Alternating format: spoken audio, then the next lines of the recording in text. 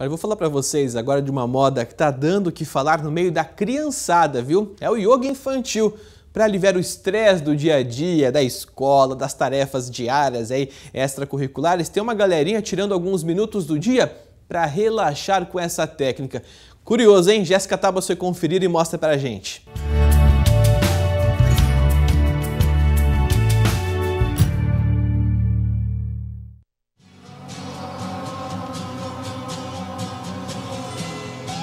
É tanta criança junta que você deve estar imaginando que isso é um tipo de brincadeira, não é mesmo? Mas acredite, não é não. O assunto é de gente grande, relaxa o corpo e a mente ao mesmo tempo. Aprendi umas posturas de animais e como relaxar. Qual que é a técnica que você mais gosta de fazer? A cobra. Do cachorro, do gato e da cobra. É o yoga infantil, a nova moda que está fazendo sucesso entre os pequenos de Araçatuba, no Noroeste Paulista. Ideia da Ana, ou melhor, da tia Aninha. Eu sou pedagoga há 20 anos e eu atuo em sala de aula. E há algum tempo eu já pratico yoga. E desde que eu encontrei o meu equilíbrio, eu senti que eu deveria levar isso para as crianças. O resultado tem sido bem positivo. Eu já abri a terceira turma e não para. Você aprende várias coisas, respirar, você relaxa e volta bem mais relaxado para casa.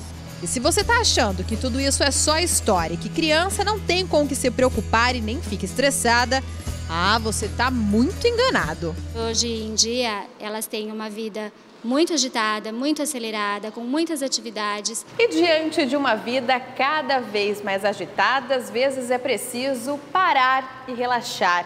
E o yoga é uma ótima alternativa para esvaziar a mente e equilibrar o corpo. Mas o que muita gente não sabe é que essa técnica também pode ajudar e muito os pequenos.